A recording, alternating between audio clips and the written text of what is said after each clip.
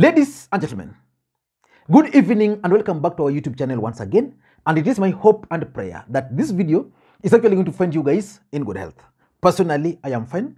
Kisumu is also fantastic. And maybe you could also let me know where you are watching the video from the county or the country in case you are out of the republic.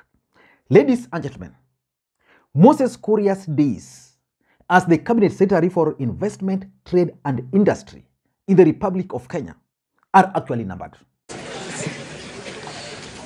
I, Moses Kiaria Kuria, being appointed a Cabinet Secretary of Kenya, do swear that I will at all times be faithful to the Republic of Kenya, that I will obey, respect, and uphold this Constitution of Kenya and all other laws of the Republic, that I will well and truly serve the people and the Republic of Kenya in the office of Cabinet Secretary, that I undertake to hold my office as Cabinet Secretary with honor and dignity, that I will be a true and faithful counselor to the President for the good management of the public affairs of the Republic of Kenya, that I will not diverge, directly or indirectly, such matters as shall come to my knowledge in the discharge of my duties, and committed to my secrecy, except as may be required for the due diligence of my duties as Cabinet Secretary, and that I will perform the functions of my office conscientiously and to the best of my ability.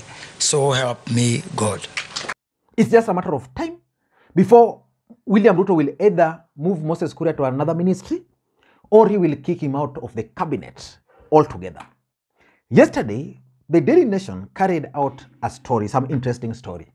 At first, I thought that the story was just because of the beef. Remember Moses Kuria's part with the media.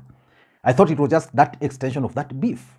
But later on, it was confirmed. This is what the nation carried out because it's going to form the basis of this analysis. That US official Katherine Tai refuses to meet CS Moses Kuria over foul mouth. Let me just briefly go, go through it. It says the nasty public tirade and social media post of outspoken and unapologetic industrialization, trade and investment cabinet secretary Moses Kuria have landed him in trouble. This time, the nation has established that the visiting United States trade representative, Katherine Tai, cancelled two scheduled meetings with Mr. Kuria to discuss the trade ties between the two countries.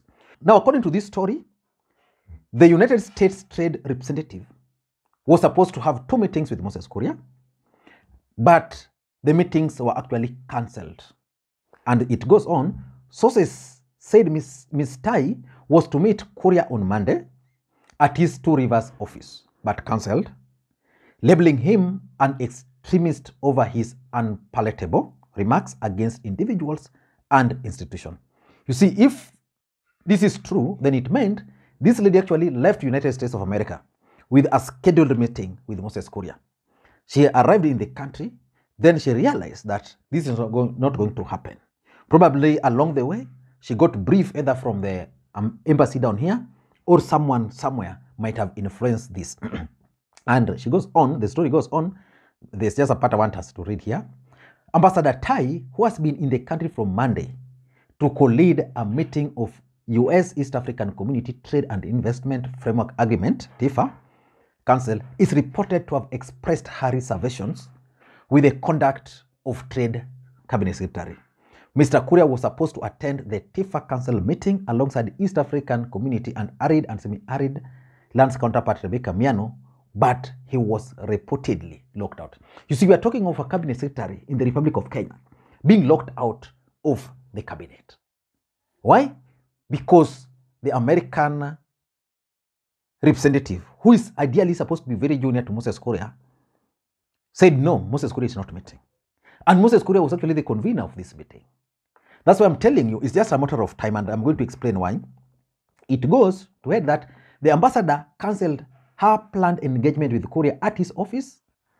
Today, which was yesterday, which was on Tuesday, he was blocked from the scheduled meeting with US official and CS Miano proceeded with the meeting, disclosed multiple sources within government who spoke to the nation.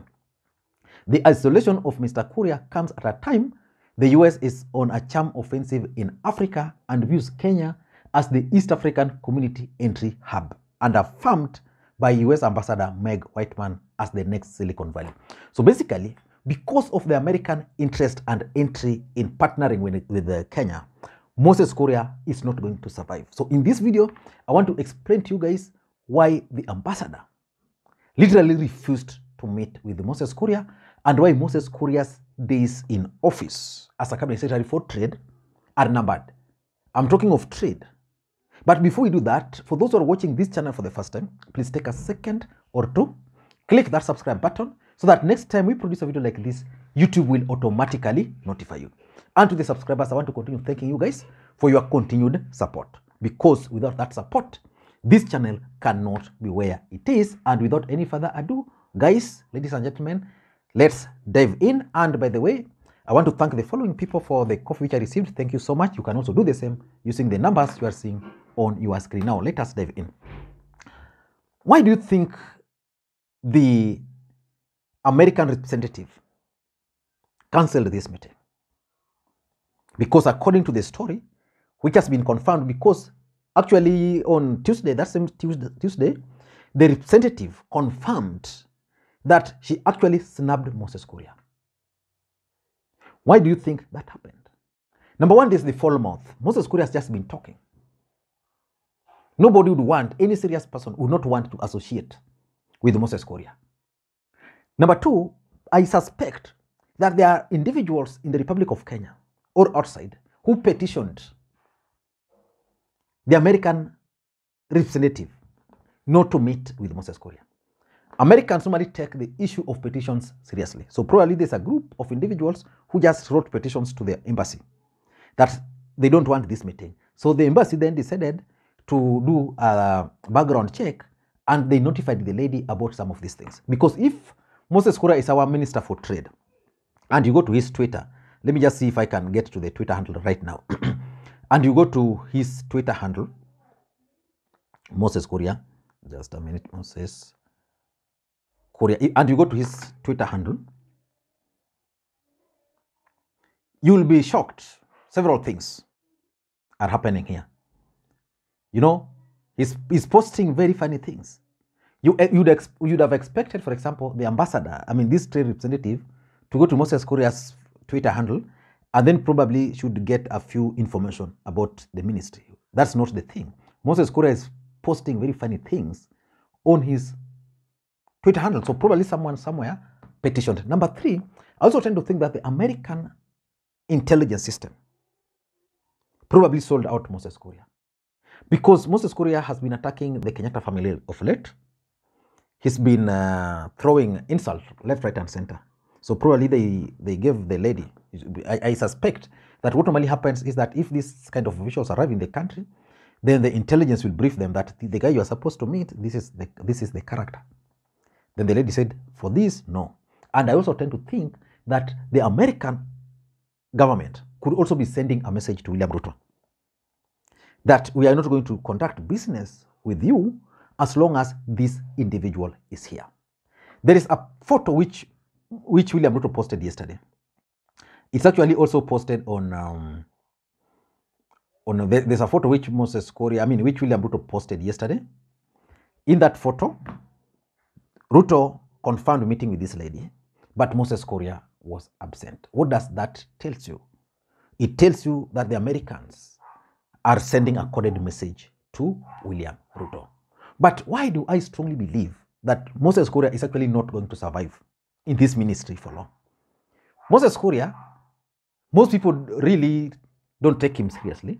But personally, on this channel, I've always opined severally that Moses Kuria understands real politics.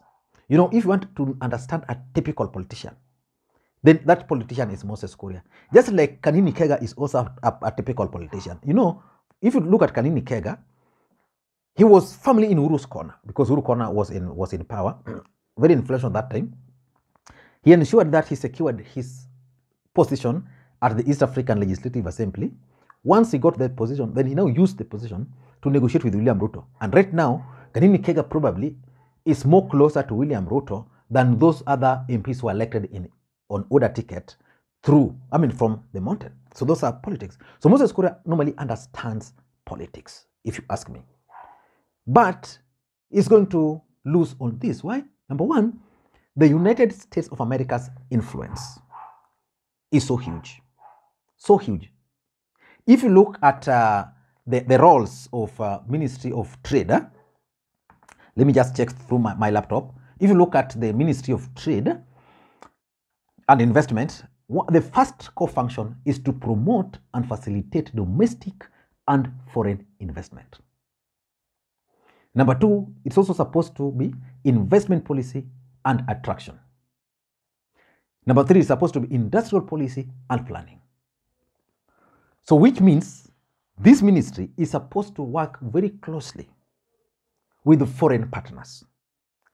And US governments are now keen on investment, on investing in Africa.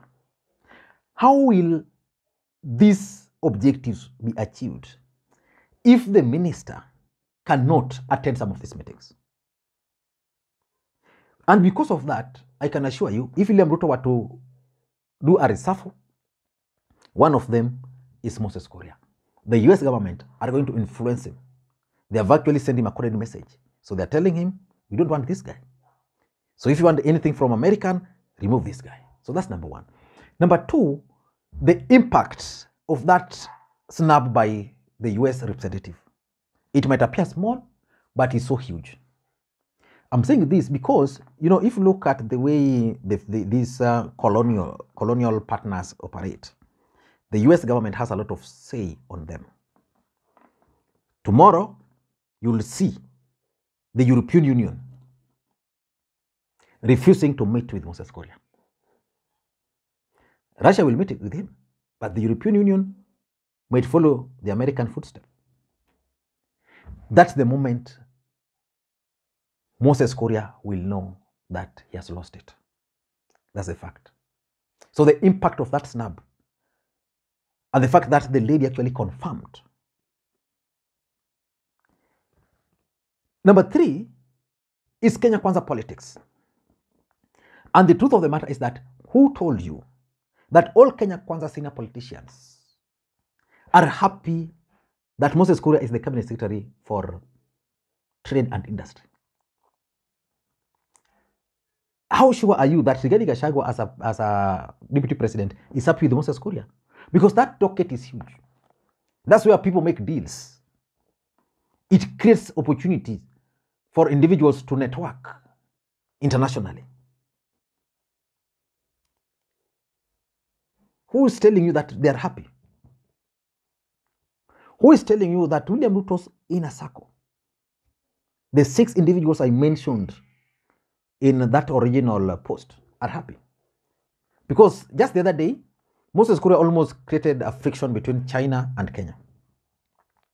I remember the minister, the, the, the, the PS for Foreign Affairs had to write a letter to correct things. The other day, about Khartoum, he also weighed in.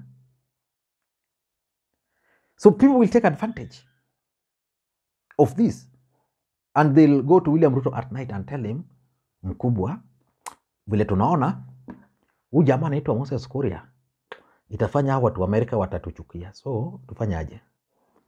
I can assure you that's something which is happening. And number three, number four, lastly, is that the role the, the cabinet secretary plays in signing deals. Who will be signing deals on behalf of Kenya? Trade deals with the American government. Who? Who? Tell me who. The person who will be signing those deals is Moses Kuria. But these guys will not allow him. So who will be representing the ministry? Nobody. So if you ask me, Moses Kuria amejikaranga. ochielore Emoe amejikaranga kwa mfuta yake. I don't know what you think. That's my take. Thank you guys. Until next time, have a good day.